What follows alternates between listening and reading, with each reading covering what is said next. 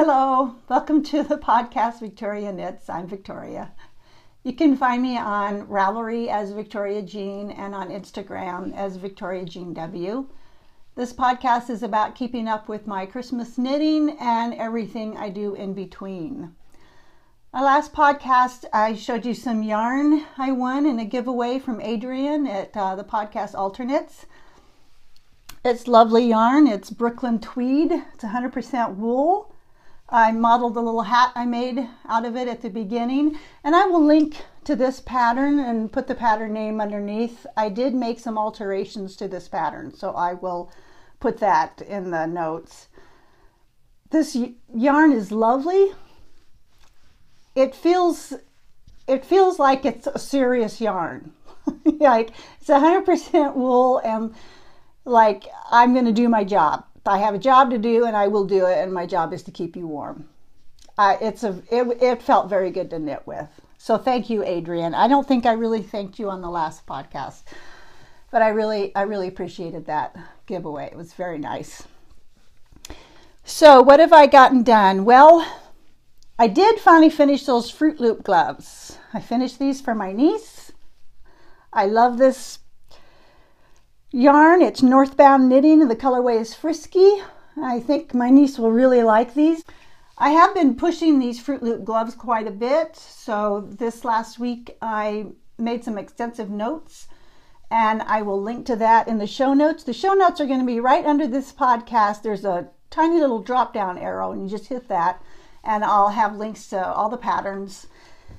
But I, you know, I've been encouraging people, I think, to try to make these Froot Loop gloves, and I love them, but it did take me quite a while to figure them out. So I don't want other people to get frustrated, and so I decided I would I would leave some notes. And if you have any questions about about them or if you need more help, um, just message me on Ravelry. I'll be happy to help if I can.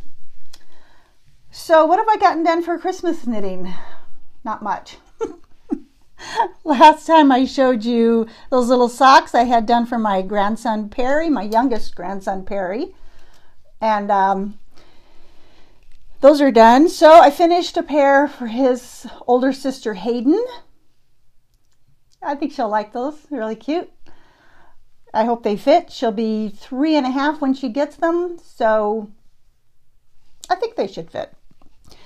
The yarn is from the Woolly Marmot. I mentioned them in my last podcast, and she sent me this Green Bay colored yarn I requested. She calls it Cheesehead, appropriate. I asked her for a plain green one so I could do the toes and cuffs and heels in it, and she sent me this one, which she called Cheesehead without the cheese. I thought it was pretty clever.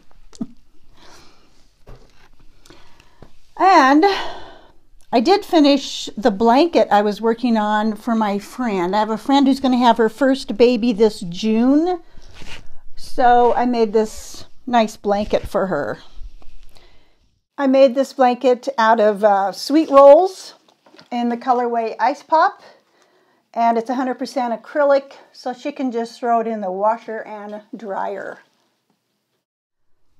I also had a goal of finishing three of the string along toys from Susan B. Anderson's pattern, and I did manage to get three of those finished. I did the, a frog and a monkey and this time I tried a little dog, and I think he turned out pretty good. I like his little ears. Whoops. so I'm going to make um, two more of those to add to that. So she'll have five, and I just have to get that done in um, two weeks before I leave on my trip. And um, so I'll be happy to give her that little present. I think that'll be really nice. I had some more wins um, this last week. Why do I cringe when I say that? That's crazy. Wins are good, right? Who doesn't want to win things? Uh, I won a giveaway from um, Cappy at the Yarn and I, and look what she included. It's this beautiful yarn she dyed. Oh gosh, it's lovely. It's so pretty. It's uh, called Blueberry a la Mode it's super soft. Thank you, Kathy. It's a, that was a fantastic win. She sent some uh, progress keepers and a stitch marker that her mother made. They look like they're tiger eye. Very pretty. She sent along this little pouch, this little felted pouch. Uh, just a really nice giveaway. I also want to give away from, um, my cat's moving the table a little bit. I also want to give away from the Yarn Barfs. They sent this beautiful mug, little knitting themed mug. I love it. it's pink. Can you tell I like pink? They sent some little minis with it. I'm not sure what I'm going to do with those yet, but they're very sweet. They also sent some pretty tea and some progress keepers that are tea themed that I can't show you, but very cute. Thank you very much. I love it. I love it all. Very nice. Something else I started in the last two weeks was a pair of socks for my oldest grandson, Russell. This is from Hana Made It. It's the colorway Water Lilies After Dark. I am using the Porthos pattern, which is a free pattern on Ravelry, which was suggested by Wet Coast Wools podcast.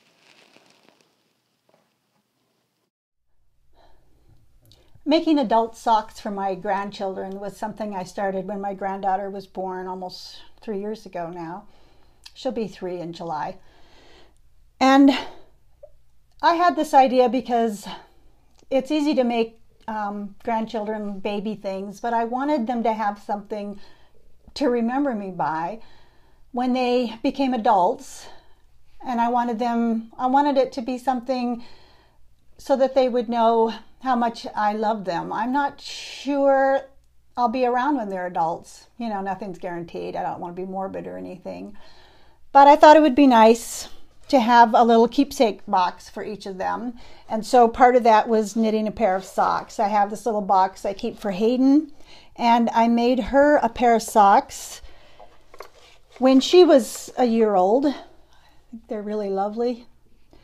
The pattern is Lindsay by Cookie A.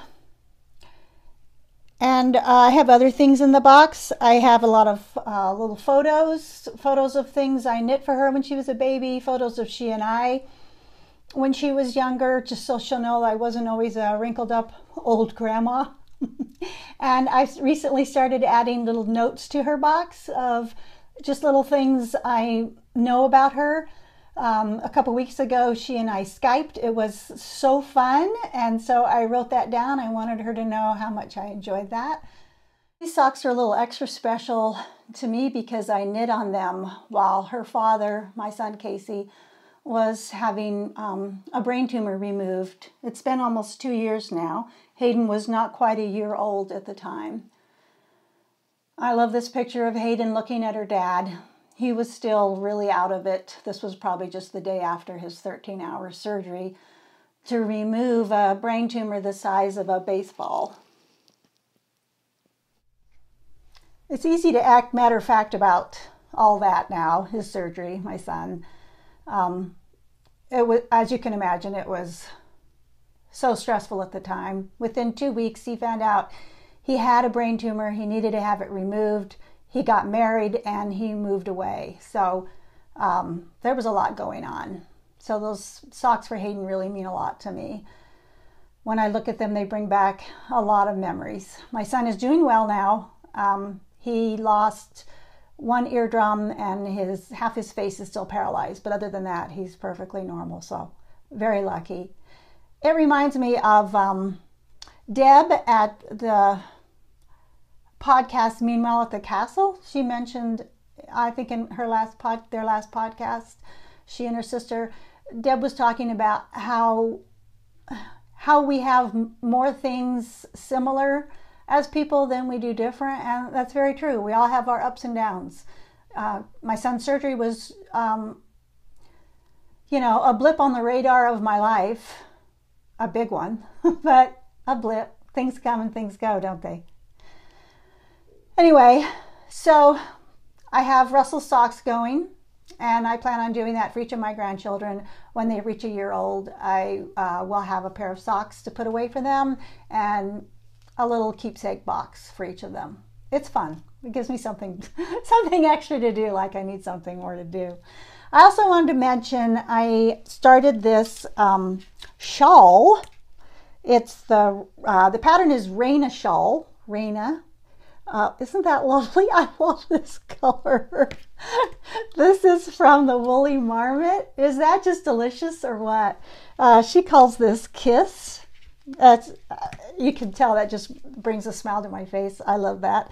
And I am entering this shawl in um, Meanwhile the Castle has a uh, knit along going called the Neon Neon Along Cow, and so I'm gonna I've entered that in, in that, and also there's another uh, knit along going by Cappy um, from the Yarn and I podcast. She is doing uh, one, two, three for me.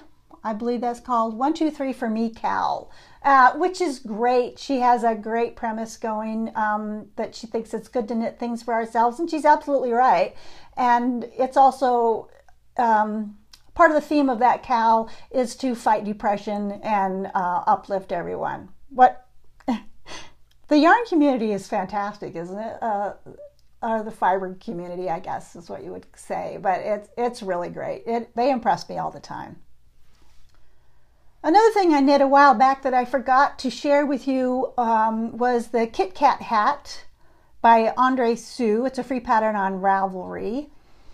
I'm watching the Eva of the Charm of It podcast. She had the idea to knit short rows on the back so that the ears on the cat hat actually stand up better. I knit this hat at the request of my friend Millie. She lives in Boise. Um, she's a wonderful person. She loves cats and she takes care of all kinds of cats. She's very generous. So I think that's about it for this podcast. Um, if you've watched before, you know I like to keep them very short. I would like to mention a couple podcasters. I've already mentioned some, but I would like to mention Julia. She lives in Germany. She has the Happy Knitting podcast. She's very sweet. I like watching her. She's very enthusiastic knitter. There's a, another retired knitter that I know of. That's Barbara at the Flame and Fiber. Um, she hasn't been knitting for very many years, but she's she's very good, and I really enjoy watching her podcast. When you see me again, it'll probably be a little longer than two weeks this time because I get to go visit my grandchildren. Road trip. so uh, I can't wait. I get to visit my oldest grandson first, and then I'll travel again and I'll get to visit my granddaughter Hayden and her new baby brother Perry, who I haven't met yet. So I can't wait to get my hands on him. It'll be great. So happy knitting, everybody. Happy whatever you do. Thanks for watching, and goodbye from Montana.